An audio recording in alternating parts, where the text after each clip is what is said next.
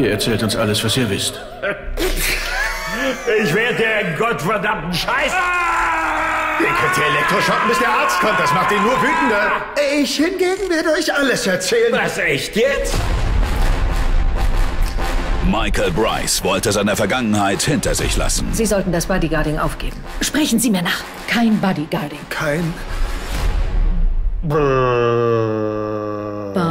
Bodyguarding. Doch sie holte ihn ein, Komm schon! Na gut. um diesen durchgeknallten Killer und seine Frau zu retten. Was macht der denn hier? Ich sagte, schaff mir jemand näher. Nur nicht Michael Bryce. Darf ich dir helfen? Es heißt Danke.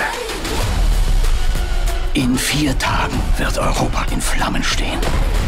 Mein Informant sagt, es soll einen großen Cyberangriff geben. Versaut das hier nicht. Oh, wir werden das sowas von sicher versauen.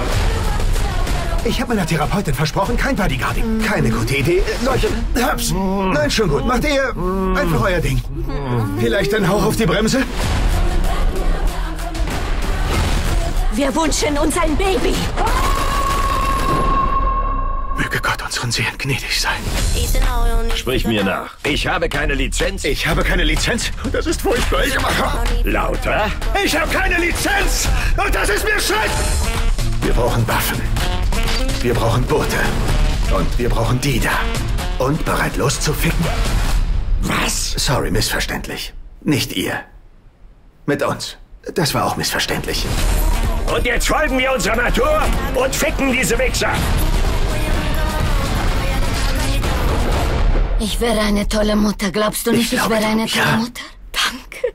Es ist wohl deine kraftvolle Asexualität, die dich zu einem guten Zuhörer macht.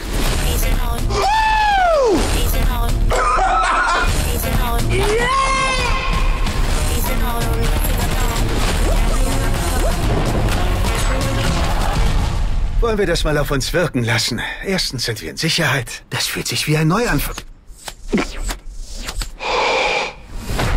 Killers Bodyguard 2. Nur im Kino.